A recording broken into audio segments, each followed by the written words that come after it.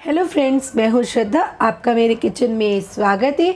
आज मैं आपके लिए फिर से एक बनी रेसिपी लेके आज हम बनाने वाले मुंबई का फ़ेमस बटाटा वड़ा। एकदम स्ट्रीट स्टाइल में बनाएँ। इसे आप आलू के बॉन्डे भी बोल सकते हैं। एकदम इजी तरीके से बन जाते हैं और खाने में बहुत ही टेस्टी लगता है। मुंबई में तो हर जगह ये आपको मिल जाएगा। पर एकदम आप घर में ही एकदम ऑथेंटिक तरीके से बनाएँगे, बहुत ही टेस्टी लगेगा और बनाने में भी बहुत ज़्यादा मेहनत की भी ज़रूरत नहीं है। एकदम इजी तरीके से बनकर तैयार हो जाएगा। तो फिर चलिए, हम बिना टाइम वेस्ट के बनाना स्टार्ट करते हैं। अगर चैनल पे नए हैं तो प्लीज़ फ्रेंड्स चैनल को सब्सक्राइब कर लीजिए। वीडियो अच्छा लगेगा तो लाइक भी कर दीजिएगा और कमेंट में मुझे ज़रूर बताइएगा। तो चलिए, हम स्टार्ट करते हैं।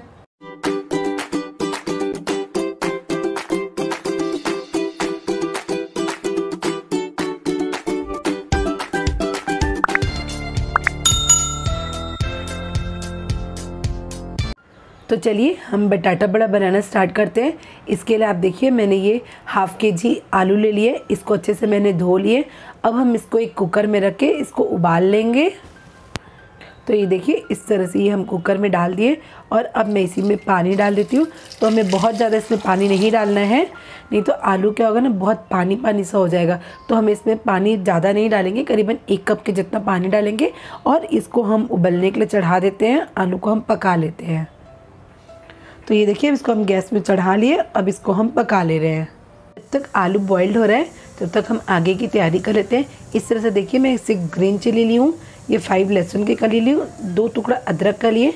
इसको हम एक मिक्सर का जार लेंगे, इस तरह से हम ये जार लेंगे और इसको हम इस दरदरा इसका पेस्ट तैयार करेंगे। तो ये देखिए, इस तरह से हम इसको कट करके डाल दिए हैं। अब हम इसको कवर कर लेते हैं और इसका हम दरदरा सा पेस्ट तैयार कर लेते हैं। तो ये देखिए, इसका हमने इस तरह से दरदरा, इस तरह से तैयार कर लिया। हमें इसे बहुत चिकना नहीं पीसना था। अब इसको हम साइड में रखते हैं, चेक करते हैं हम आलू हमारा ठंडा हुआ या नहीं। अब ये देखिए, ये आलू ठंडा हो गया। इसका हम छिलका निकाल लेते हैं। ये देखिए, मैंने आलू को इस तरह से इसके छिलके निकाल लिए और ये ठंडा भी हो गया। इसको बस इस तरह से हम हाथ से इसको मैश कर ले रहे हैं। आप चाहे तो मैशर की हेल्प से भी इसको मैश कर सकते हैं, बट ठंडा हो गया है। तो मैं इसको हाथ से ही इस तरह से मैश कर ले रही हूँ। तो आप देखिए, इस तरह से मैंने सारे आलू को इस तरह से मैश कर लिए हैं। अब हम इसको साइड में रखते हैं। अब हम इस तरह का एक पैन चढ़ा ले रहे हैं। इसको हम गरम कर लेते हैं और इसी में हम इसमें डालेंगे इस तरह से दो चम्मच ऑयल। और ऑयल को भी हम गरम होने देते हैं। अब ये ऑयल गरम हो गया। इसमें मैं इस तरह से एक चम्मच ये राई के दाने डालूँगी। इसको भी हम झटकने देते हैं। और इसी में इस तरह से एक चम्मच ये कूटा हुआ धनिया, इस तरह से मैं धनिया को हल्का सा कूट ली थी। इसमें खड़ा नहीं डालिएगा, कूट के डालिएगा। और अब हम इसी में डालेंगे जो हमने इस तरह से अदरक, लहसुन और ये ग्रीन चिली को इस तरह से मिक्सर में डाले थे, दरदरा इसको पीस के तैयार किए थे। इसको बस डाल के इस तरह से हल्का सा इसको हम इसी में भून ले रहे हैं। और इसी के साथ ये थोड़े से कुछ कड़ी पत्ते थे, इसको मैं बारीक कट कर ली थी। इसको भी हम डाल दे रहे हैं। और इसी में मैं इस तरह से फोर टू फाइव पिंच हम इसमें हींग डालेंगे। और इसी के साथ मैं ये डालूँगी आधा चम्मच ये हल्दी पाउडर। बस ये सारी चीज़ों को हम डाल के अच्छे से इस तरह से इसको एकदम लो फ्लेम में इसको हल्का सा मसाले को इस तरह से हम पका लेंगे। अब ये मसाला भी अच्छे से भुन गया है। इसमें से बहुत बढ़िया सी खुशबू भी आ रही है। अब मैं गैस का फ्लेम को ऑफ़ करूँगी। हमने फ्लेम को ऑफ़ कर दिए अब जो हमने आलू को मैश करके रखे थे, उसमें हम डालेंगे इसको। और अब हम इसी में इस तरह से ये मसाले को हम इसमें डाल देते हैं। और फिर हम अच्छे से इसमें आलू में मिक्स करेंगे इसको।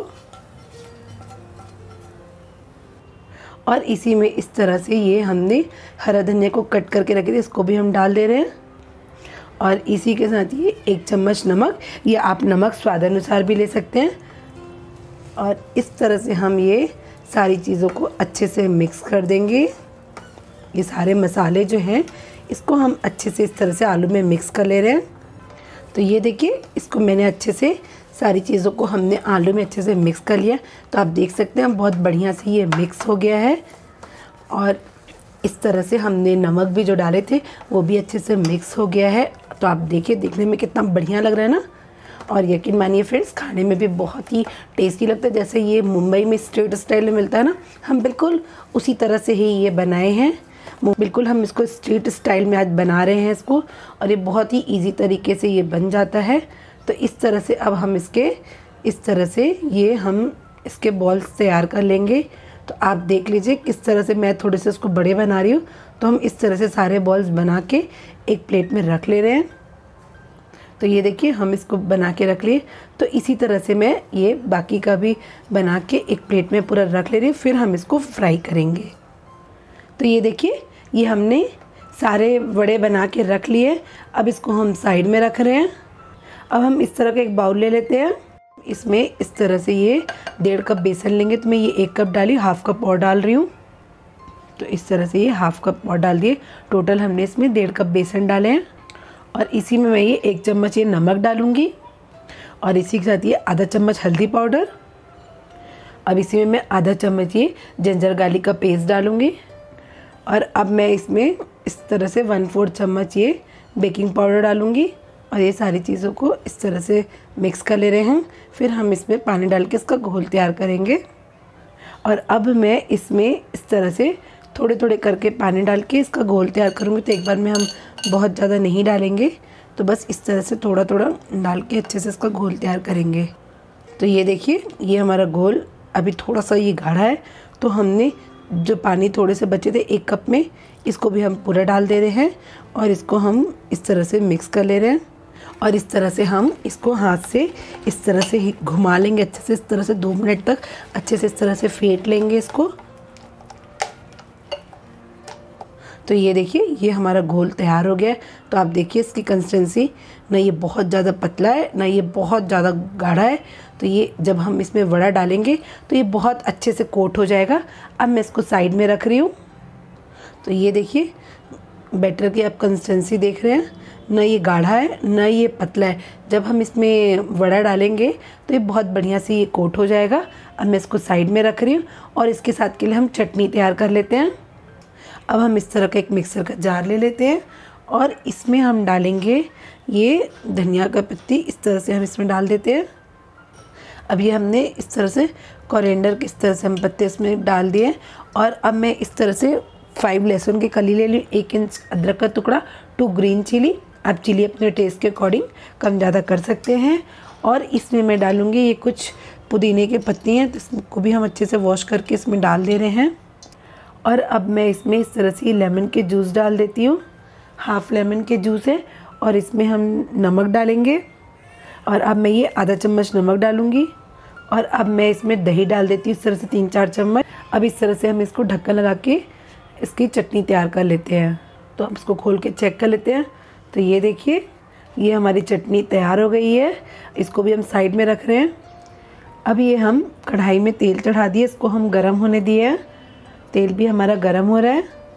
तो ये देखिए, ये हमारा बैटर और हमारे ये, अब ये देखिए, जो हमने घोल तैयार किए थे बेसन के और हमारे ये बटाटे वड़े। अब हम इस तरह से इसमें, इस तरह से डालेंगे।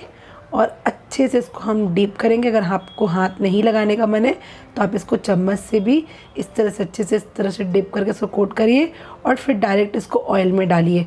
तो अब हम चलते हैं ऑयल की तरफ़। तो पहले इस तरह से हम हल्का सा इसमें डाल के चेक कर लेते तो देखिए, ऑयल भी हमारा गर्म हो गया है। इसको हम निकाल ले रहे हैं। अब हम इसी गर्म तेल में इस तरह से ये वड़ा को डालेंगे तो इसी तरह से हम फटाफट जल्दी जल्दी इसमें हम डालते जाएँगे। तो हलवाई लोग जैसे फ्राई करते हैं ना तो उसको जल्दी जल्दी इस तरह से तो मैं इस तरह से डालती जाऊँगी। तो आप ये देखिए, मैं डाल दी एक बार में हम फ्राई फ्राई कर रहे हैं तो उसको अभी हम फ्राई होने देंगे, अभी हम टच नहीं करेंगे। अब हम इसको इस तरह से टर्न कर लेंगे तो इस तरह से बिल्कुल हम हल्के हाथ से इसको पलट लेंगे। और इसी तरह से हम ये सारे पलट ले रहे हैं। इसको अच्छे से इधर से भी सीख जाएँ। तो आप ये देखिए, एक तरफ़ का अच्छे से सीख गया। तो इसी तरह से हम इसको उलट पलट करके अच्छे से इसको फ्राई कर लेंगे। तो ये देखिए, ये हमारा वड़ा का आप देख रहे हैं, दोनों तरफ़ से बहुत अच्छे से सीख गया है। अब इसको हम निकाल ले रहे हैं एक प्लेट में। इस तरह से निकाल ले रहे हैं, इसका एक्स्ट्रा तेल निकल जाए।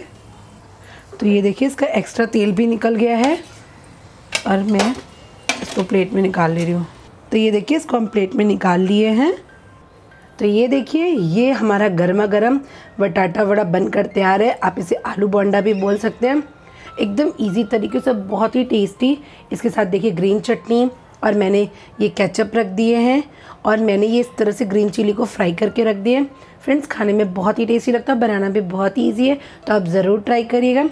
आपको अगर मेरा वीडियो पसंद आए तो प्लीज़ चैनल को लाइक करिए सब्सक्राइब करिए कमेंट में मुझे ज़रूर शेयर करिएगा। एक बार मैं आपके लिए फिर से नई रेसिपी के साथ मिलती हूँ। Bye bye